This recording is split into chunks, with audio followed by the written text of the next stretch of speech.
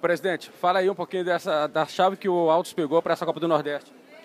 Olha, uma chave complicada, né? Pegamos o campeão da Copa do Nordeste 2017, time forte, time de primeira divisão.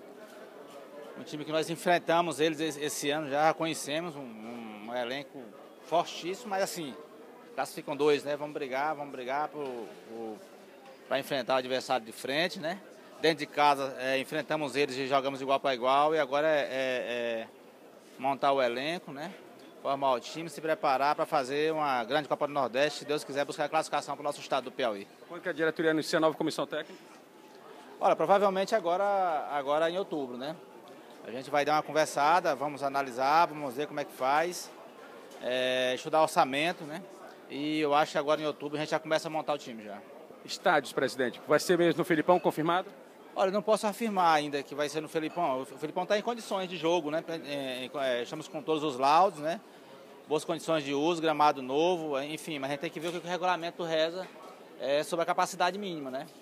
Estamos tendo que estudar, mas assim, nossa intenção é que seja no Felipão.